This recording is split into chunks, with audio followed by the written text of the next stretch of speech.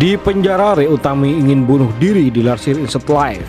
Ray Utami adalah salah satu tiga tersangka dalam kasus ikan asin. Ray Utami menjadi tersangka atas dugaan kasus konten asusila bersama sang suami, Pablo Benua.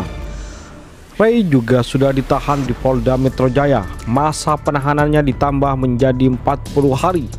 Ray Utami dikabarkan putus asa menghadapi kasus hukum yang menjeratnya tersebut. Bahkan kabarnya ia sempat terlintas ingin bunuh diri. Hal itu diungkapkan pakar grapolog Yosandi saat menjadi bintang tamu di Rumpi Trans TV. Yosandi mengungkapkan hal itu dengan melihat tulisan tangan Ray pada tulisan di surat permintaan maafnya untuk virus Arafik. Ia memperhatikan bentuk tulisan Ray Utami dari kata-kata yang dituliskan Ray terlihat beberapa huruf yang tampak patah ke bawah. Walaupun Ray Utami sudah berusaha menaikkan semangatnya sempat terlintas tekanan ini begitu besar. Dia ingin segera menyudahi dengan jalan pintas kata Yosandi sambil menjelaskan tulisan Ray yang ditandai dengan garis oranye. Yosandi melihat dari kata maaf yang terdapat di dalam surat. Pada kata itu huruf A dan F dinilai tampak patah ke bawah.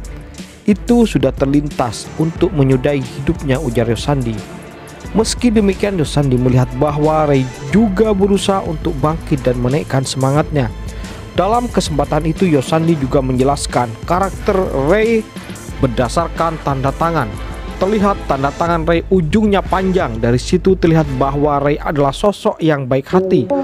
Orang yang punya kebaikan hati tapi sayangnya kebaikan hatinya dimanfaatkan orang dekatnya. Ujar Yosandi. Ray Utami juga dinilai sangat jaga image dan tak ingin hal-hal pribadinya diungkap atau dibicarakan.